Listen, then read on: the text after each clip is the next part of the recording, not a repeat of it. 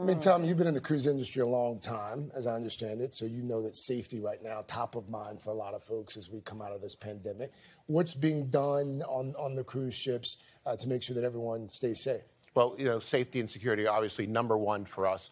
We spent the last 18 months really looking at protocols. How do we make this the safest way to travel? So it starts with adding additional things on board the ship. We invested in new technology, a product called AtmosAir, which uh, purifies the air, cleans 99.9% of all the germs and bacteria. On top of that, I mean, vaccines are a game changer. So we're requiring all of our sailors, we call our passenger sailors, and all of our crew to be vaccinated. And on top of that, as an additional safety precaution, uh, we're going to be testing all of our sailors before they get on board oh, the wow. ship. Okay. So the combination of this, and it's really a controlled environment, creates the safest possible way to travel. You know, a big thing about the cruise industry right now, the, the word sustainability is, is very important. What are you guys doing to make sure your cruises are as, as sustainable as possible?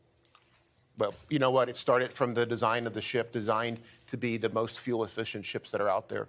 We invested in new technology called Climeon, which takes the exhaust heat and turns it into clean energy. We have a ban on single use plastics on board. We have a ph- phenomenal recycling program. And all of this geared to, you know, Richard lives on an island in, in the Caribbean. Our focus is on the environment. And, you know, we've invested, uh, we're the first ship to, to be uh, carbon neutral from day one. So we're investing in carbon offsets in order to do the right thing for this environment.